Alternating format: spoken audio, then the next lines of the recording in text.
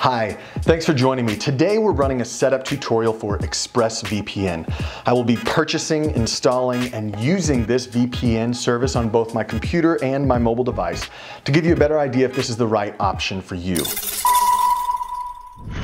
My name's Josh. This is VPN Video Reviews. Before we begin, I would like to note that the links in this video and in the description below are affiliate links. However, I keep them constantly updated with the latest sales and promotions, so click here to make sure you're not missing out on any of the best deals for ExpressVPN. If you'd like to jump ahead to a specific section in this video, you can do so using the time markers you see here. And with that out of the way, let's go ahead and jump online. So here we are, I'm in my browser. I'm going to type in expressvpn.com where I will be brought to the ExpressVPN homepage and click Get ExpressVPN. As you'll see, they offer three different plans, a one month, six month, and 12 month plan. They discount the 12 month plan the most at 35%, but for the sake of this tutorial, I'm just gonna choose one month. I highly recommend you look at the year plan though. After I enter in my email address, I'm going to choose my preferred method of payment. They offer credit cards, PayPal, Bitcoin, uh, and a number of international payments as well, including Alipay, Union Pay, and a number of other good ones. But if you're like me, the easiest way to do this is to go through PayPal. And so the first thing that I'm going to have to do is log into my PayPal account and so I'm going to click in login and then it's going to give me a summary of what I'm going to purchase and I click agree and pay and I will be redirected back to the ExpressVPN website. Now, once I'm here at the ExpressVPN website, you're going to notice a string of numbers and letters that is highlighted in yellow here. That's my activation code. One of the first things I want to do is copy that activation code before I download any of the software, and you'll see why in a moment. Once I do that, I will download the software. It's a pretty small file, only about 13 megabytes. And once it downloads, I'm going to install this package. Now, it doesn't take too long, again, probably about 30 seconds to get this software installed. And in the end, I think all of this has taken me only a couple minutes to get done. It's very simple, very easy. And then I'm going to copy and paste in that activation code into the ExpressVPN software, and it is launched and ready to go. Here we are on the computer setup for ExpressVPN.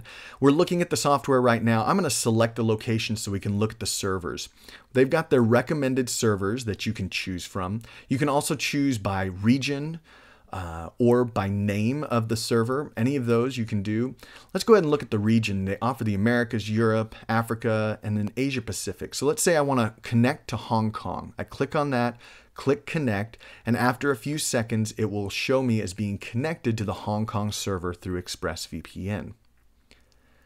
So if I want to disconnect, I can click that button or I can go up into the top right and click disconnect.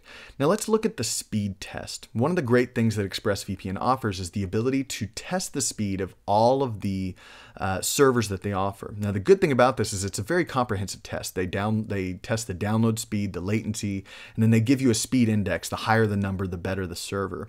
The bad thing is is that it does take a long time. It took me about five minutes to finish this speed test, and I'm not going to make you sit through all of that. I'm just going to go ahead and pass through this but it does offer you the ability to really look at which servers are going to be best for you and the location that you're at.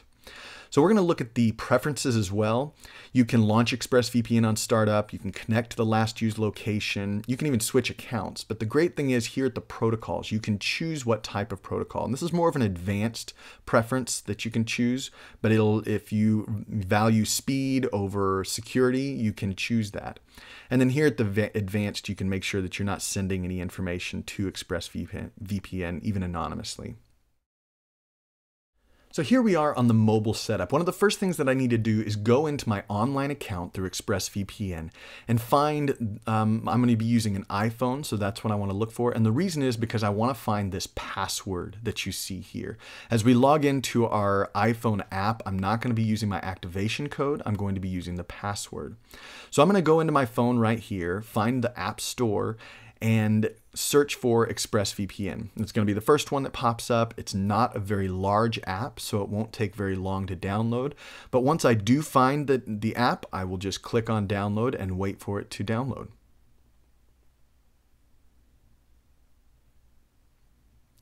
Now that it's downloaded, I'll click on open and I'm gonna sign in again using my email address and the password that was provided in my online account as opposed to my activation code.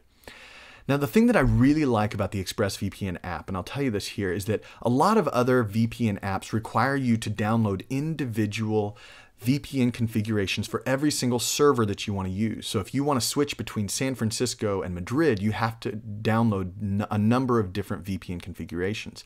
But as you see here, what I'm doing right now is I am just going to download one single configuration for ExpressVPN. This is definitely a huge benefit of using the ExpressVPN app over a lot of different other VPNs, is it makes it extremely simple. And this point, they're going, they're walking me through just a little tutorial, but it's it's it's very intuitive. All I'm going to have to do is choose which servers I want to go to. So let's say I'm, I'm here in Seattle right now. Let's say that I want to go in and choose from the United States to connect to the Dallas server. So I'm just going to click on Dallas and it's going to connect me to that server. I don't have to go into my settings app, which is very uncommon for VPNs. I want to tell you that right now. So let's look at the settings that I've got. I can auto reconnect to that. I can change my VPN protocol and I can even choose not to share diagnostic data with ExpressVPN. All of those I have the option to do. And then let's say I want to change servers right now. So instead of going to Dallas from Seattle, let's say that I want to connect to, um, let's go France, all right, and, and Paris, France. So I'm going to find France, click on the Paris, and just very quickly, it's with a, a, few clicks, it's going to disconnect from Dallas, and then it's going to show me on the map that I'm connecting to Paris, France. Again, I really enjoy the app that ExpressVPN has put together here. It's very intuitive and very simple. I hope you found this setup tutorial to be useful. Again, you can use the links that you see here to make sure you're not missing out on any of the special promotions right now. And if you're still not convinced that ExpressVPN is the right option for you, you should check out the other VPN setup tutorials I have, linked to in the description below. Likewise, there are a number of great frequently asked questions that I answer about VPNs that you can watch on this channel. Don't forget to give this video a thumbs up and provide your own feedback on ExpressVPN in the comments below. Thanks for watching.